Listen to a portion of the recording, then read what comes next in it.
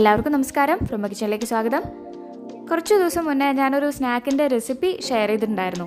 ബാക്കി വന്ന ചപ്പാത്തി വെച്ച് ഉണ്ടാക്കിയ ഒരു ചപ്പാത്തി ലോലിപോപ്പ്. അത് കുറച്ച് പേരൊക്കെ ട്രൈ ചെയ്ത് നോക്കി എന്നാണ് വിചാരിക്കണത്. ഇനി അത് കണ്ടിട്ടില്ല. വെച്ചാൽ ആ വീഡിയോന്റെ ലിങ്ക് ഞാൻ ഡിസ്ക്രിപ്ഷൻ ബോക്സിൽ കൊടുക്കുന്നുണ്ട് കേട്ടോ. അപ്പോൾ അതേപോലെ ബാക്കി വന്ന ചപ്പാത്തി വെച്ച് ഉണ്ടാക്കാൻ പറ്റിയ വേറൊരു സ്നാക്കാണ് നമ്മുടെ ഇന്നത്തെ വീഡിയോയിലുള്ളത്. ചപ്പാത്തി ലോലിപോപ്പ് നല്ല സോഫ്റ്റ് ആയിട്ടുള്ള ഒരു സ്നാക്കായിരുന്നു വെച്ചാൽ ഇത് കുറച്ച് ക്രഞ്ചി ആയിട്ടുള്ള ഒന്നാണ് കേട്ടോ.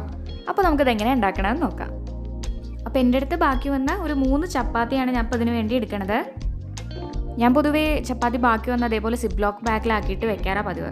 എന്നാൽ തന്നെ അതേപോലെ ഇങ്ങനെ മടക്കി വെക്കുമ്പോൾ ഈ ചപ്പാത്തി വിറങ്ങലിച്ചിട്ട് ഇങ്ങനെ സൈഡിൽ പൊട്ടലൊക്കെ വരാൻ ചാൻസ് ഉണ്ട്. പക്ഷേ അതൊന്നും ചപ്പാത്തി ലോലിപോപ്പിനാണെന്നുണ്ടെങ്കിലും ഒരു വിഷയമേ അല്ല അത് ഉണ്ടാക്കാൻ. അതുപോലെ ഈ സ്നാക്കിനും അതെ അതൊന്നൊരു പ്രശ്നമേ അല്ല.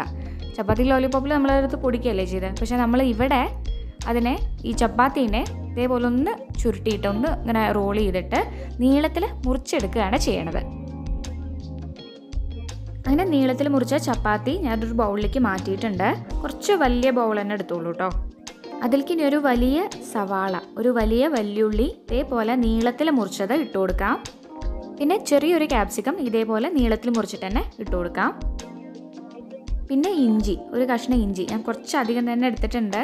ഇതേപോലെ ഒന്ന് നീളത്തിലായിട്ട് തന്നെയാണ് ഇഞ്ചി ഞാൻ മുറിച്ചെടുത്തിട്ടുണ്ട് അതിന്റെ കൂടെ ഒരു രണ്ട് പച്ചമുളക് മുറിച്ചതും. ഇത് രണ്ടും കൂടി ഇട്ട് കൊടുക്കാം. പിന്നെ ആവശ്യത്തിനുള്ള ഉപ്പ്. പിന്നെ ഒരു കാൽ ടീസ്പൂണോളം മഞ്ഞൾപ്പൊടി. ഒരു ടീസ്പൂൺ മുളക് പൊടി. പിന്നെ ഒരു half ടീസ്പൂണിനടുത്ത് amchur powder dry mango powder. നിങ്ങൾക്ക് ഇതിന് പകരം ചാട്ട് മസാല വേണച്ചാലും യൂസ് ചെയ്യാം. ചാട്ട് മസാലയാണ് ഇടണമെന്നുണ്ടെങ്കിൽ അപ്പോൾ ഉപ്പിന്റെ അളവ് ഒന്ന് കമ്മിയാക്കിക്കോളൂ കേട്ടോ. ഇതിലേക്ക് ഞാൻ കുറച്ച് കറിവേപ്പിലയും കൂടി ഒന്ന് ഇതേപോലെ പിച്ചി പിച്ചിട്ട് ഇട്ട് കൊടുക്കുന്നുണ്ട്. അതിലേക്ക് ഇനി ഒരു മൂന്ന് ടേബിൾ സ്പൂൺ കടലമാവും കൂടി അതായത് കടലപ്പൊടി അതും കൂടി ഒന്ന് ചേർത്ത് കൊടുക്കാം. ഞാനിതിലേക്ക് വേറെ മസാലകളൊന്നും ചേർക്കുന്നില്ല കേട്ടോ. ഗരം മസാലയോ അല്ലെങ്കിൽ ജീരകപ്പൊടിയോ ഒന്നും ചേർക്കുന്നില്ല. നിങ്ങൾക്ക് വേണമെന്നുണ്ടെങ്കിൽ അതും ഇട്ട് കൊടുക്കാം. ഇനി അതിലേക്ക് ഒരു നുള്ള് ബേക്കിംഗ് സോഡ കൂടി ബേക്കിംഗ് സോഡ അപ്പക്കാരം കൂടിയും ചേർത്ത് കൊടുക്കുന്നുണ്ട്. എന്നിട്ട് ആദ്യം ഇതെല്ലാം പാടെ ഒന്ന് കൈ വെച്ചിട്ട് ഒന്ന് മിക്സ് ചെയ്ത് കൊടുക്കുക. ഇനി അതിലേക്ക് കുറച്ച് കുറച്ചായിട്ട് വെള്ളം ഒഴിച്ചു കൊടുത്ത് മിക്സ് ചെയ്യാൻ തുടങ്ങാം. നമുക്ക് ശരിക്കും ഈ കടലമാവ് ഈ എന്താ പറയുക ചപ്പാത്തിയും ബാക്കി ഉള്ളിയും ക്യാപ്സിക്കോ ഒക്കെ ആയിട്ടൊന്ന് ബൈൻഡ് ചെയ്യിച്ച് നിർത്തണം. അതിന് വേണ്ടിയുള്ള ആ ഒരു വെള്ളം അത്രയും നമുക്ക് വേണ്ടു. അപ്പോൾ എപ്പോഴും വെള്ളം ഒഴിച്ചു കൊടുക്കുമ്പോൾ ഒന്ന് ശ്രദ്ധിച്ച് കുറച്ച് കുറച്ചായിട്ട് തന്നെ ഒഴിച്ചു കൊടുക്കാം കേട്ടോ. നന്നായി മിക്സ് ചെയ്തതിന് ശേഷം ഇതേപോലെ ഇടയ്ക്ക് ഒന്ന് കയ്യിലിങ്ങനെ പിടിച്ചു നോക്കുക. എല്ലാം കൂടി ബൈൻഡ് ആയിട്ട് നിൽക്കുന്നുണ്ടെന്നുണ്ടെങ്കിൽ പിന്നെ മതി. പിന്നെ വെള്ളം ഒഴിക്കാൻ നിൽക്കണ്ട കേട്ടോ. അത് കറക്റ്റ് ആയിട്ടുണ്ട് അതാണ് കൺസിസ്റ്റൻസി പിന്നെ ഡീപ് ഫ്രൈ ചെയ്തെടുക്കുക വേണ്ടു. എണ്ണ വല്ലാണ്ട് ചൂടാവാനും പാടില്ല. ഒന്ന് ചൂടായി വന്നു കഴിഞ്ഞാൽ നമ്മളൊരു ലോ ടു മീഡിയം ഫ്ലെയിമിൽ വെച്ചിട്ട് തന്നെ വറുത്തെടുക്കാൻ നോക്കുക. അത് മാത്രമല്ല നമ്മൾ അറ്റ് എ ടൈം മൂന്നോ നാലോ എണ്ണ ഒക്കെ ഇട്ടിട്ട് വറുത്തെടുക്കുന്നുണ്ടാവും അപ്പോൾ ആദ്യത്തത് ഇട്ടിട്ട് ഒരു രണ്ട് മൂന്ന് സെക്കൻഡ് കഴിഞ്ഞ് മാത്രം അടുത്തത് ഇടാൻ ശ്രദ്ധിക്കുക. ഇതൊക്കെ ഞാൻ മുമ്പ് സൂചിപ്പിച്ചിട്ടുള്ള തന്നെയാണ്. പക്ഷേ പറയേണ്ട ആ ഒരു ഇതുണ്ടല്ലോ നമ്മൾ ചെയ്യുമ്പോൾ.